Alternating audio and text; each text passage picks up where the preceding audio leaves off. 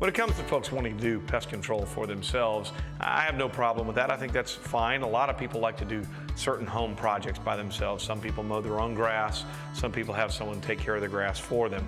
Some people do their own home repairs. Other people don't trust themselves and want to have somebody come in. I think it's all really a matter of judgment and knowledge. You want to do some research into the habits and the biology of the insect. You want to make sure that you're identifying the insect properly. And if you can't do that, I mean, you can go to the web and get some information that'll help you.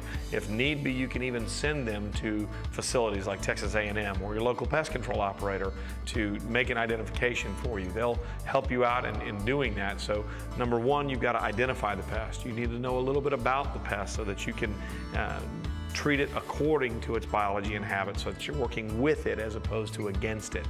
There are all kinds of pesticides and all kinds of non chemical methods and there's baits and there's there's uh, physical controls, there's cultural things that you can do. And you want to do a little bit of research because you do want to be able to use the right method for the right circumstance. There's a lot more to pest control than just putting a pesticide inside a, a container and spraying it around someone's home or spraying it around your own home.